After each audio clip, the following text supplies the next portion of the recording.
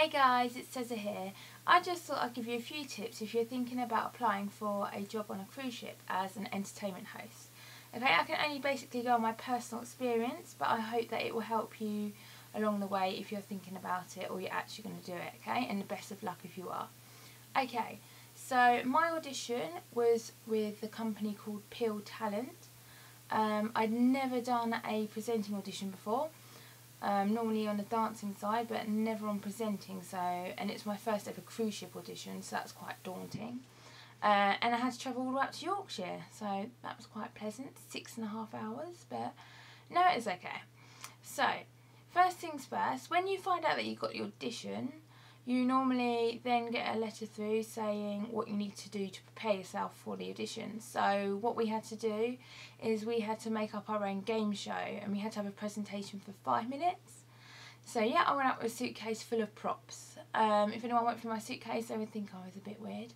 But anyway, so upon arrival, you go in there and you get your sticker and then you re uh, register so you signed up and then you basically get to talk to the people that are around you. And then what we had to do for our first task was we had to get into pairs and then we had to introduce each other in a host style sort of presentation way. Um, they gave like five minutes to do that, so that was the first round, just like a little warm up so you get to know each other. And then the second part, I believe, was yeah, we did our own game shows. So that's quite fun because we all got to partake in each other's games. It's quite funny and it's quite interesting to see what people come up with with such weird props. Um, it was really good fun. Um, it took quite a long time because there was a lot of us. So yeah, that was quite good. Um, then after that, we what did we do?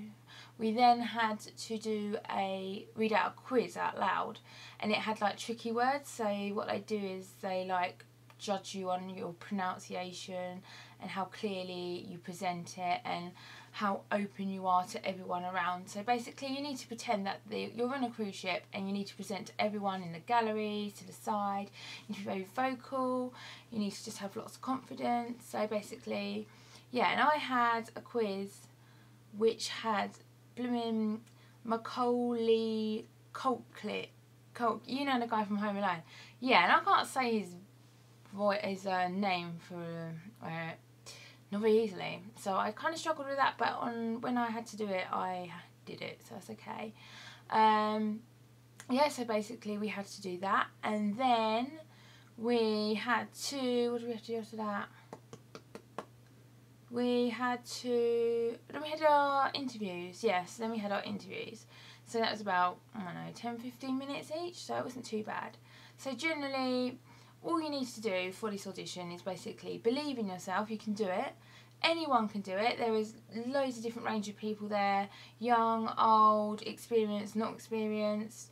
Um, you generally, it's generally just having a laugh, showing that you can do it.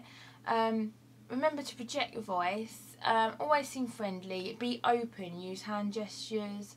Maybe not too much of the time, but um, be engaging. Try and put a bit of humour into your presentations and just don't panic just be yourself and you'll be fine if you are thinking of auditioning for this role then good luck to you all the best I still haven't heard whether I've got it or not so you know at least I gave it a try anyway whatever happens um, yeah and I hope this video helped. So just be yourself be confident be strong add a bit of humour and have a good time basically. Enjoy yourself. Good luck. Thank you for watching. Bye. Peace out